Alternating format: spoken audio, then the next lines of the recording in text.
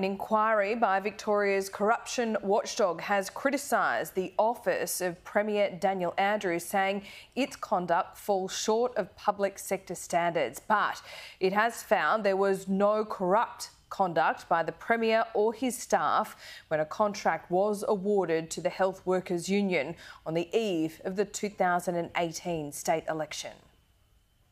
Operation Daintree, a report detailing an investigation into a Victorian government health worker training contract worth more than a million dollars. In October 2018, just before the state election, a $1.2 million grant was awarded to the Health Education Federation, a newly formed body linked to the Labor aligned Health Workers Union. The money was to fund violence and aggression training for 575 health workers. It was ticked off by the Department of Health after pressure from a senior political staffer. In May 2019, IBAC received an anonymous complaint alleging processes and protocols weren't followed.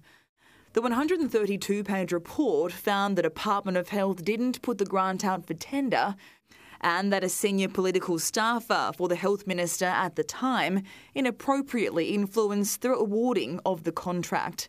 Due to pandemic disruptions, only 83 staff received training that was inadequate.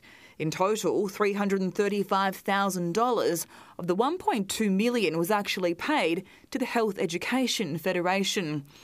The report hasn't found evidence of corrupt conduct, but it has been critical of political advisers who worked in the private offices of Premier Daniel Andrews and former Health Minister Jill Hennessy.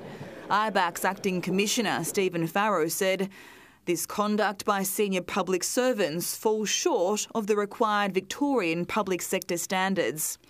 IBAC has made 17 recommendations to ensure ministers understand their duty in managing ministerial staff and that staffers' roles are more transparent and accountable. Operation Daintree is one of four IBAC investigations where Premier Daniel Andrews has been interviewed. The report has been tabled in Victoria's Parliament by the state's anti corruption watchdog. Georgia Simpson, Sky News.